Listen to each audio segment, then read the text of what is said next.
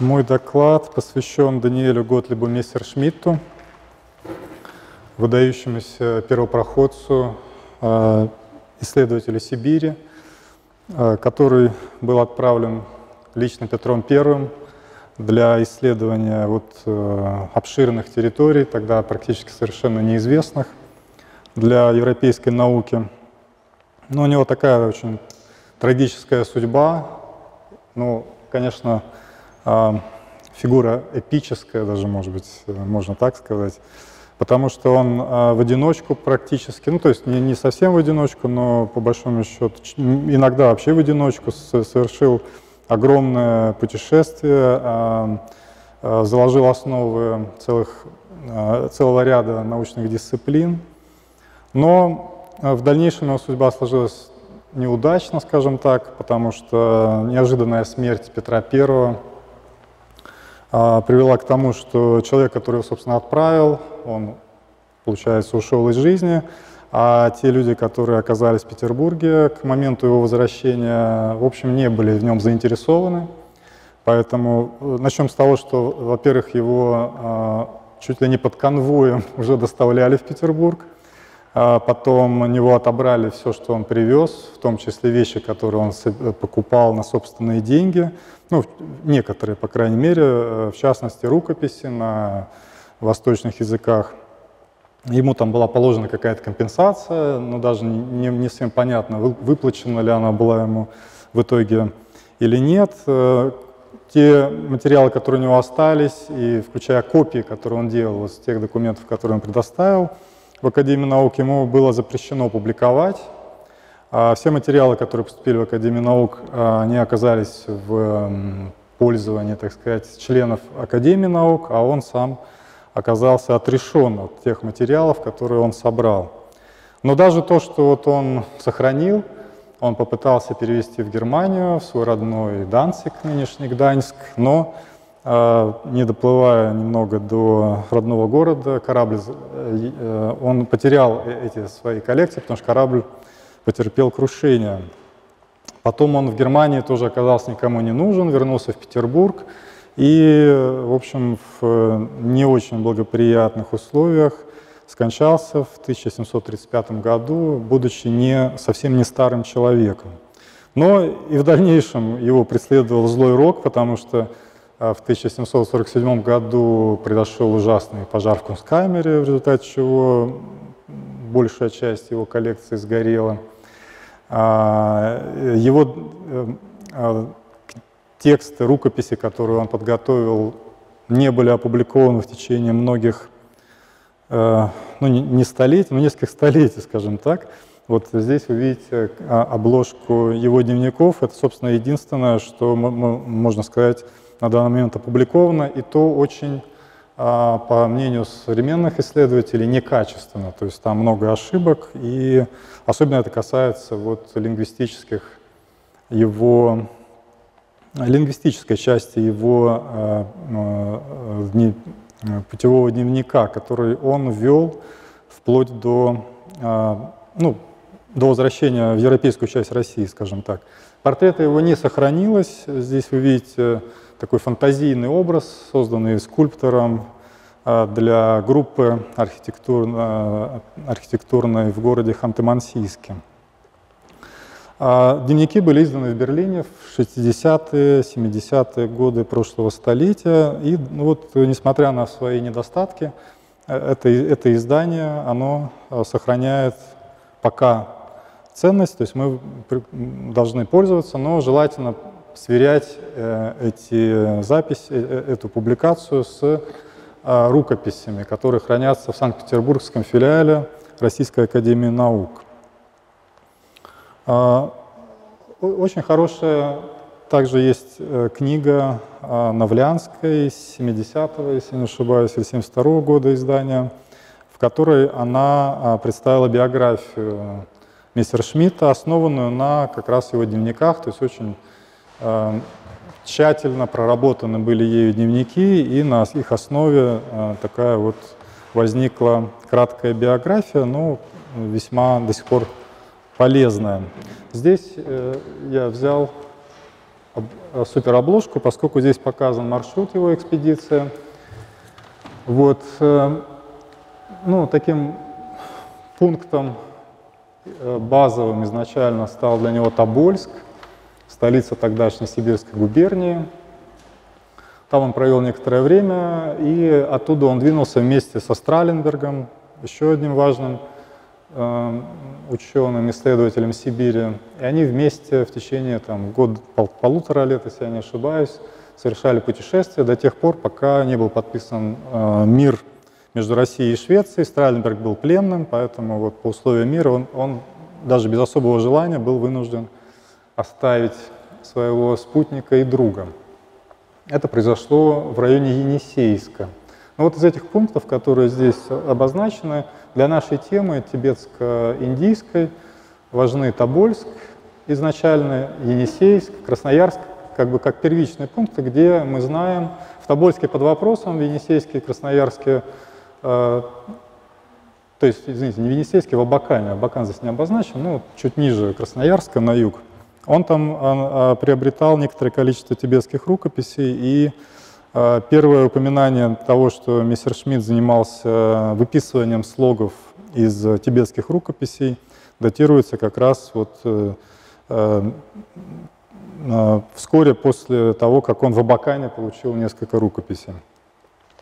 А, э, это упоминание было занесено в дневник Страленбергом, потому что до момента их расставания дневник, дневник вел Страленберг – Э, отчасти, к сожалению, потому что Страленберг, э, он довольно коротко все записывал, вот в отличие от Мессершмитта, который после расставания стал вести дневник сам, и он намного более подробный э, и ценный для нас. Вот, ну, дальше, когда они расстались, э, э, Мессершмитт совершил путешествие вот туда на север, а потом поехал к Байкалу, Иркутск, дальше Забайкалье и то, что вот называется Даурия, нынешний восток Забайкальского края, бывшая Читинская область, вот те регионы, которые, ну, можно назвать этническая Бурятия. Почему, собственно, я занялся, так я еще буквально минутку скажу, э, э, этой темой? Дело в том, что я сказал, что в 1747 году был пожар в Кунсткамере, и многие вещи сгорели, именно мессершмиттовские. А мы знаем, что а, Мессершмитт привез некоторое количество рукописей на тибетском языке, на монгольском, на санскрите, на некоторых других, видимо, языках.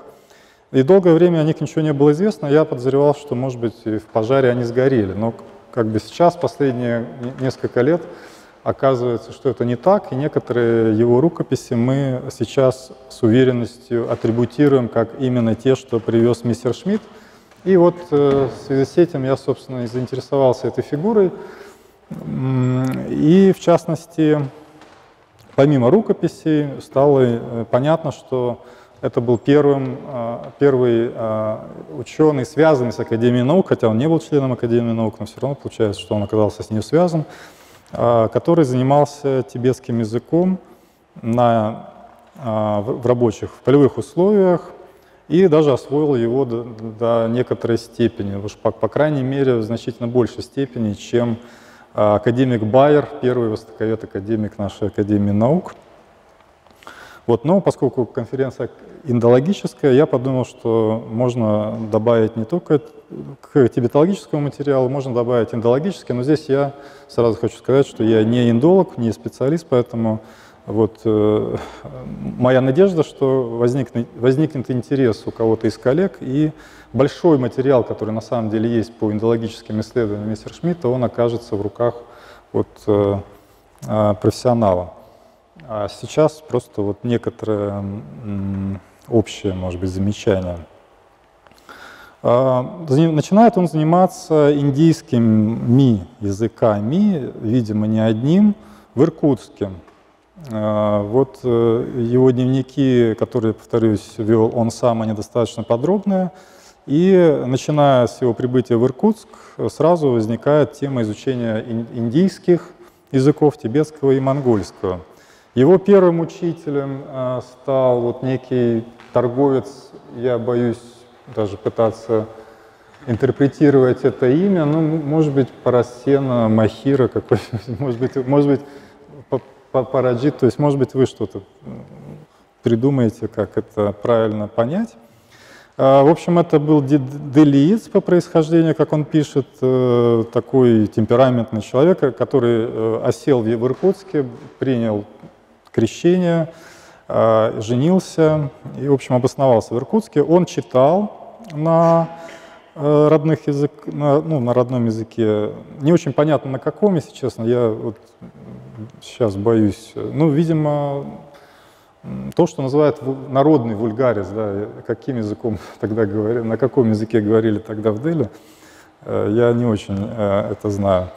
И, возможно, санскрит, вероятно, он тоже, потому что, видите, брахманишин шпраха, да, то есть это, видимо, санскрит имеется в виду. Но он не писал. Э, а, то есть, извините, то есть он тут пишет, да, что он писал, но как-то он дальше потом, по-моему, упоминает, что он Э, не очень был хорош в, этой, э, в этом аспекте. А, ну, достаточно много времени он проводил, э, провел в Иркутске вот именно и дальше, когда они поехали немножко дальше вместе в занятиях. И такой самый подробный, подробная запись, где описан, описан язык, ну и даже не язык, он больше, конечно, сначала, конечно, он акцентировался на алфавите, то есть поскольку он вообще не знал этого языка, этих э, восточных языков, то ему нужно было хотя бы разобраться с алфавитом. И вот, собственно, алфавит он смог составить для себя с помощью рукописей, которыми, с которыми с ним поделился как раз вот этот вот индиец. Он оттуда выписал, если, если э, следовать дневнику, выписал какие-то слоги и с помощью вот этого индийца смог составить алфавит. Потом он отмечает некоторые особенности вот, письма, лигатуры, то, что там могут соединяться различные согласные вместе, иногда одинаковые согласные, как л, л, н, н, м, м и так далее. Некоторые особенности фонетические он отмечает. Э, вот.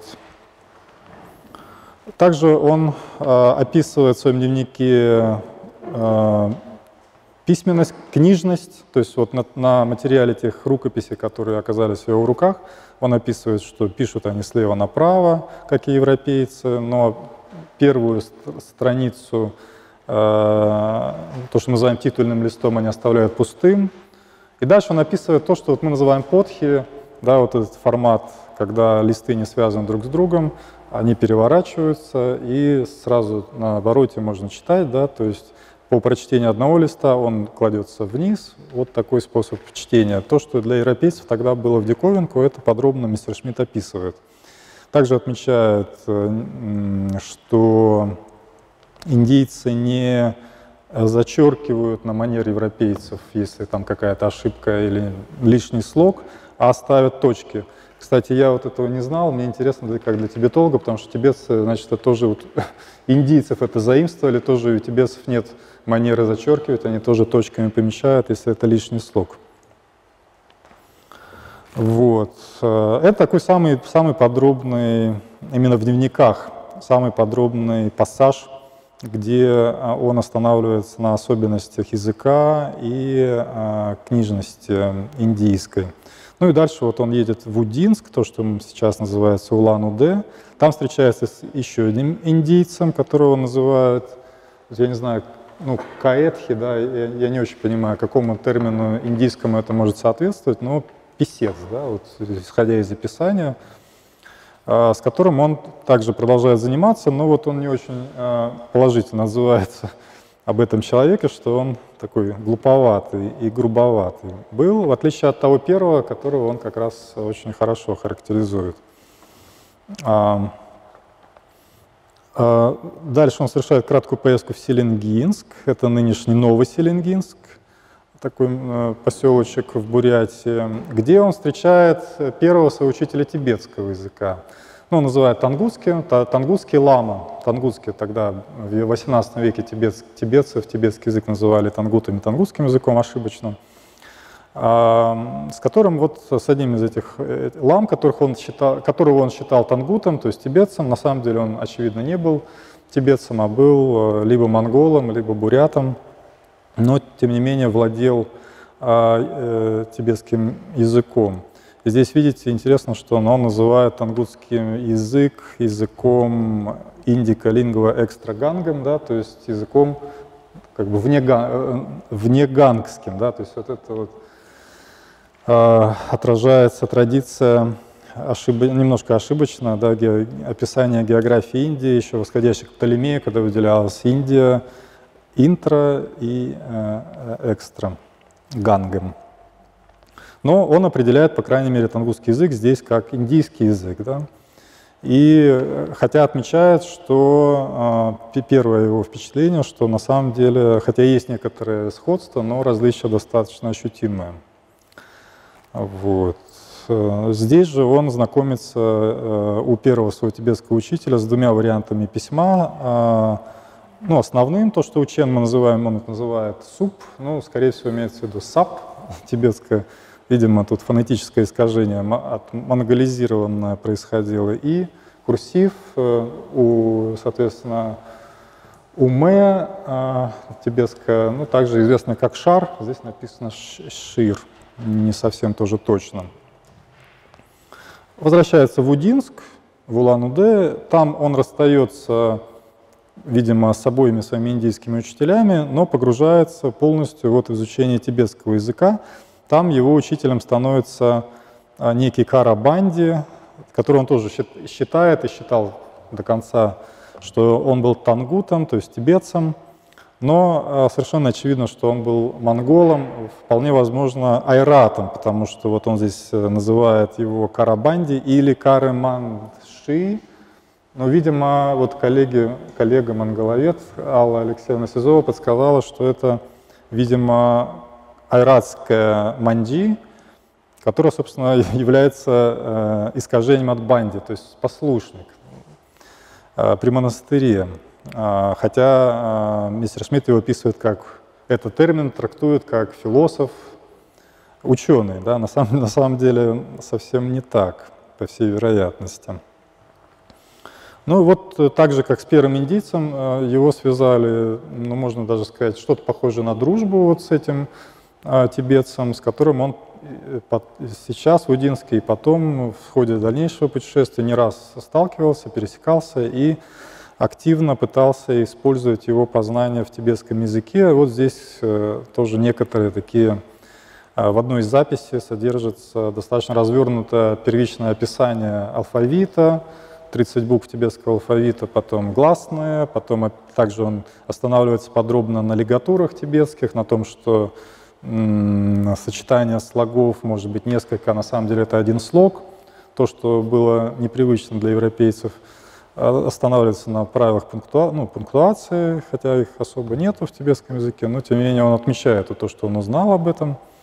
Но он вот вынужден был, так сожалея, сказать, что поскольку его толмач, видимо, они через толмача вели разговор с этим Карабанди, а, будучи, видимо, крестьянином, не, не очень был способен вести сложные филологические беседы, да и сам Карабанди тоже, видимо, не мог, поэтому вот какие-то только самые примитивные, простые темы он мог поднимать, связанные именно с, связанные с, с лингвистикой. Э, поэтому он сконцентрировался, видимо, поэтому он сконцентрировался на записи различной лексики. И в дневнике, это не отражено в издании берлинском, э, а, имеются довольно большие словники на тибетском языке и на монгольском языке, которым он тоже потом стал заниматься. А, затем а, по пути в Даурию, вот то, что Забайкальский край сейчас восток, на границе с Монголией и Китаем современными, он а, туда, по пути туда еще раз встречается со Скоромбанди, Скоробанди, и тот ему вручает, как он записывает, маленькую тибетскую печатную книжицу, о которой он просил для изучения тибетского языка. И вот забегая вперед, я так думаю, что это вот это из восьми листов состоящий текст, ксилографически изданный в Пекине, где средствами трех видов письма представлена санскритская азбука и дальше в различные лигатуры и так далее. То есть ланьза, то, что тибетцы называют, э, ранджа, затем тибетские буквы и монгольские буквы. Вот. То есть здесь, благодаря этому ксилографу, мистер Шмидт а, познакомился с письмом а, Ранжина. А, ну, важный такой момент э, стоит в том, что в дневнике он впервые, возможно, для, среди европейцев, возможно, впервые, я не, не могу точно утверждать, но, может быть, первым он указывает, что на самом деле ни Тангут, ни, ни тем более Тибет, здесь Тибет не упоминается, не является самоназванием, названием Э, тибетским, он пишет о пю, ну, пюик, имеется в виду тибетский язык, ну, он записывает как подъитишер, да, ну, это, очевидно, э, пюик имелся в виду.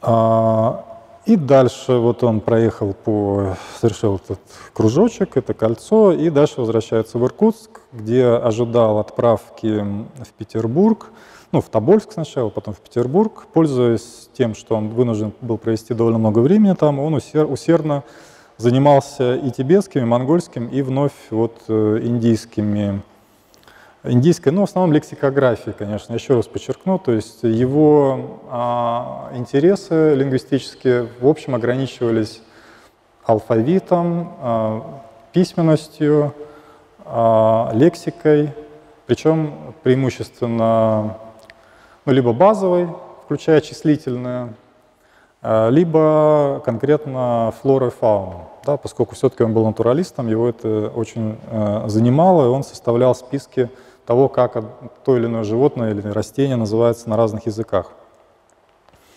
И вот здесь он такой сводит, свод э, письменности индийских, которые, с которыми он познакомился, здесь приводит. Я вот опять же джа, джабунла, я не знаю, с чем это надо ассоциировать. Ну, ланжа понятно, дальше нагари, то, что он вульгарис называет, да, здесь дальше какой-то курсив, да, может быть, вам опять же он известен. И дальше, видимо... Гимнософист. Да. В этом контексте, ну, ну брахма. Он, он, ученый, ученый враг. Да, да, да. Но на самом деле сюда можно, раз вот вы это заметили, то можно сказать о, о том, что он все время также проводит параллели с еврейским языком, халдейским, как они тогда говорили, и постоянно искал связи между вот э, еврейским алфавитом, письменностью еврейской и восточными письменностями.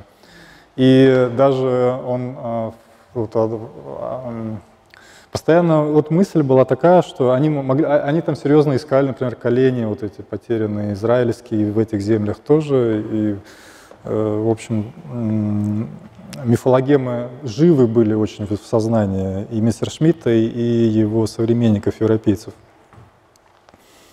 Вот, ну и, и здесь также вот к этой же записи относится то, что вот он сравнивает, э, с, смог сравнить, сопоставить, да, видимо, благодаря ксилографу этому и благодаря общению с индийцем, э, Ланза, Ранджану, да, потом, видимо, Нагари и там тибетский язык. И все-таки он приходит к выводу, что тангутский, тибетский, то есть язык, это дочерний индийский язык, но понятно, что это ошибочно, но письменность, тут в данном случае он, конечно, абсолютно был прав. Письменность действительно филия индики. Вот. Но надо сказать, что это дневник, да, дневник э, отнюдь, дневником отнюдь не исчерпываются те материалы, которые могут быть интересны историкам индологии, тибетологии, поскольку есть такое замечательное дело в архиве, опять же, Российской Академии Наук, в Санкт-Петербургском филиале, вот э, если кого-то привлечет, запишите или там зафиксируйте э, э, э, шифр. Это собрание рабочих записей, в основном касающихся письменных систем языков народа Востока в Сибири. Зафиксировано 175 листов согласно описи. Там на самом деле это не учитываются пустые листы, там их немножко больше в реальности. Эм, вот. И там находится очень большое количество а, материалов, вот именно таких рабочих, где его упражнения в письме, в индийских разных видах письма, в тибетском, монгольском и многих других, на самом деле, вариантах восточных письменностей. А, причем часто сочетается и то, и это. Но из каких-то более-менее законченных там а, материалов там есть э,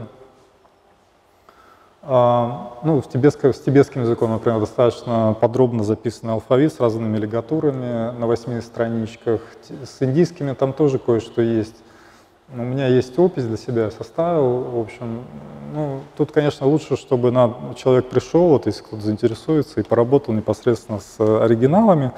Там есть интересные вещи, мне кажется, и для индолога тоже, не только для тибетолога. Но вот, в частности, Патер Ностер, записанный на тибетском языке, тибетской графикой, самим Мессершмиттом, и такой же на, я сейчас, наверное, на Нагаре, скорее всего, я сейчас не помню, я для себя зафиксировал на тибетском языке, конечно.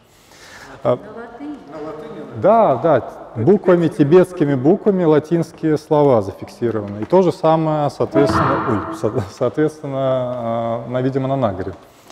А, почему Патер Ностер? Это восходит, э, вероятно, к Лейбницу, который в 1718 году опубликовал некий текст, я уже не помню, это письмо было какое-то Петру или... Ну, э, там высказывалось пожелание, чтобы э, происходило изучение язык, языков сибирских народов, и как вариант такого изучения он предлагал перевод этих языков, на эти языки Патер Ностер. Вот, видимо, да-да-да, это сработало. Здесь, правда, не перевод, а просто фонетическое переложение, да. Вот. И я заканчиваю последний, да, вот важный момент. Самый важный, может быть, концептуальный э, вклад э, Мессершмитта состоит в следующем. Он, ну это уже касается не индийских языков, а тибетского языка, как, как одного из языков, который он считал распространенными в Сибири. Он, э, по всей вероятности, вот есть статья Мана Старамар Бондарь, а, она доступна в интернете, можно почитать подробная статья, где доказывается, что а, опубликованная Страленбергом таблица и несоответствующая таблица описания словесная, которая не совпадает с тем, что написано в таблице, весьма вероятно излагает во многом идеи мистера Шмидта. То, что табличка вот эта вот здесь представлена, она отражает более раннюю и более архаичную форму представления о языках, нежели то, что записано вот в тексте книги. Это свидетельствует о том, что, видимо, Страленберг не понимал. А, а в книге он пишет, что они совпадают. То есть, очевидно, Страленберг не понимал, о чем он пишет.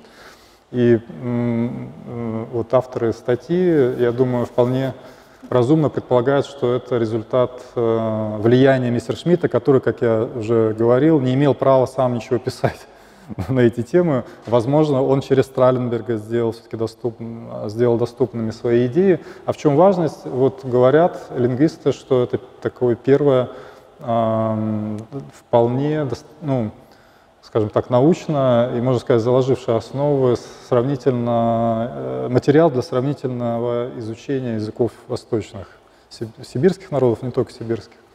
Вот, то есть это для истории лингвистики и компаративистики чрезвычайно ценный материал, который, очевидно, связан с мистером Шмидтом. На этом я заканчиваю. Спасибо большое.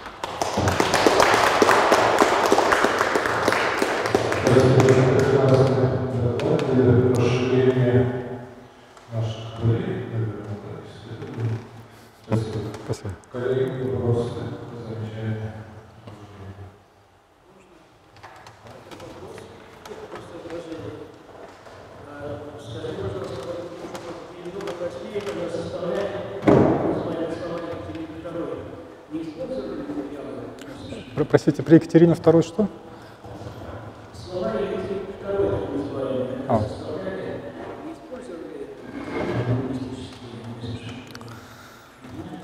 Я думаю, что я не буду врать, не знаю точно, но сомневаюсь, потому что его материалы оказались, по сути, не вос... ими пользовались, то есть, может быть, как бы как-то косвенно, через чьи-то другие работы, которые, людей, которые могли ими заниматься, но конкретно его труды так до сих пор, по сути, остаются неизданными, поэтому... Но косвенно возможно, и тем более через таблицу и работу Страленберга, возможно, это как-то могло Э, повлиять, но я не занимался этим, поэтому...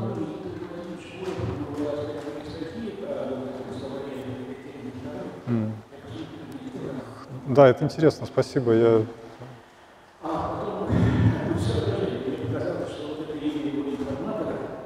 А?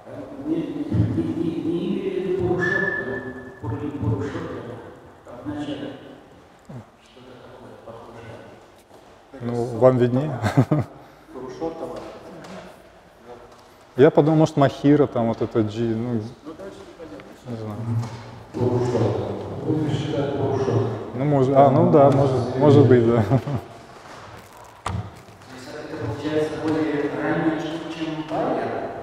Да, конечно. Просто во всех и- историях письменности Леванада, конечно, пишут Байер, пишут э, Скан Книги, но в общем, на самом деле это чуть ли не второе упоминание ну, собственно, кроме Байера, что было еще раньше. Мессершмитт был раньше Байер, но они современники, по- поэтому тут э, сложно сказать. Ну, ну, получается, что Мессершмитт раньше изучал, по крайней мере, чем Байер индийские языки, да. Но просто Байер опубликовал что-то, а Мессершмитт почти ничего не опубликовал, поэтому здесь, э, И здесь цитаты из того который Да. да, да, да, да. А по поводу Байера я хотел еще сказать, что вот я, я упомянул, что все коллекции и материалы, которые мистер Шмидт передал в Академию, они, они оказались в ведении академиков. Да, и тот же Байер, он опубликовал вот этот ксилограф. Ну, он, конечно, упоминает мистер Шмидт, э, воздает ему должное как выдающемуся специалисту, но, по сути, воспользовался его трудами Байер, а сам мистер Шмидт оказался не у дел. Вот, так что, ну, наверное, я бы сказал, что... И надо сказать, что Байер издал э, вот эту э, азбуку с транслитерацией, которая просто ошибочно почти насквозь. А в отличие от него, мистер Шмидт изучил, действительно, он знал, он даже знал правила спеллинга тибетского, то, что у нас до сих пор в университете не преподается, к сожалению. То есть там, если надо э, огласовку сказать, ну, допустим, слог «ки», у нас там до сих пор говорят «ки», правильно сказать «как» и «куки», «кан руко» там, и так далее. Мистер Шмидт это все изучил, у него эти все за- записи в транс- транслитерации латинской, все, э, в транскрипции, то есть латинской, в его, его этих вот записях имеется. Так что личность вообще удивительная, и чем больше он сейчас привлекает все больше внимания, и чем больше людей начинает заниматься, тем более такой вот эпической фигурой он предстает. Спасибо.